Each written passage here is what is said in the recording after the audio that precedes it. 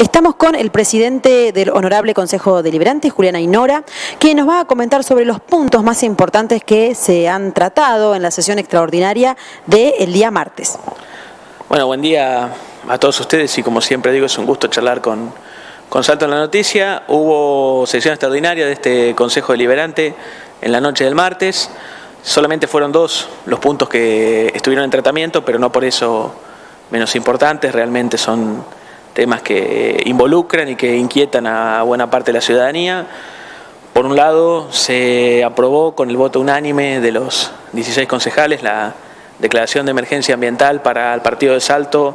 extendida hasta el 31 de diciembre de este año, de este año 2020 que estamos empezando,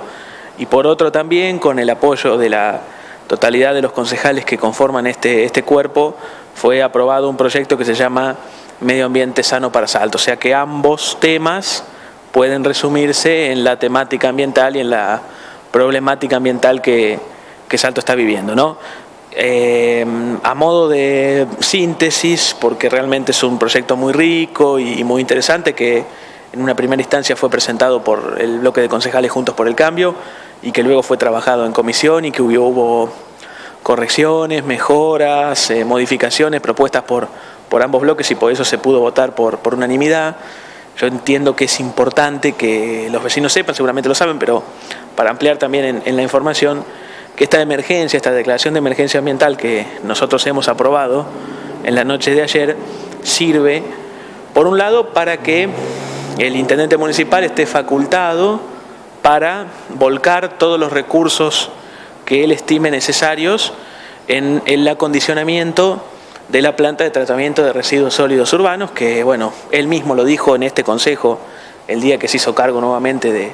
la municipalidad, es uno de los ejes fundamentales de la gestión que él inició, él ha reconocido que es uno de los temas que, lo, que más lo preocupan,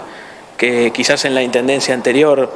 no se pudo abocar de la manera que realmente el tema lo exige por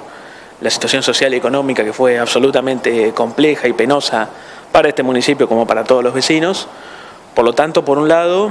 esta ordenanza de emergencia ambiental sirve para que el intendente esté facultado a partir de hoy mismo para poner en marcha un plan integral de mejora, de acondicionamiento, de saneamiento de esta planta de tratamiento de residuos sólidos. Y fuera de lo municipal, también lo que se propone en la emergencia ambiental es darle mayor fortaleza, mayores recursos a todas las gestiones que la municipalidad realiza ante los organismos de control medioambientales, tanto sea los gobiernos provinciales y nacionales, fundamentalmente me refiero al organismo provincial de desarrollo sostenible, OPDS, el organismo medioambiental de la provincia, para que se siga trabajando y se siga inspeccionando aquel famoso cordón industrial de la ruta 191 donde se sospecha,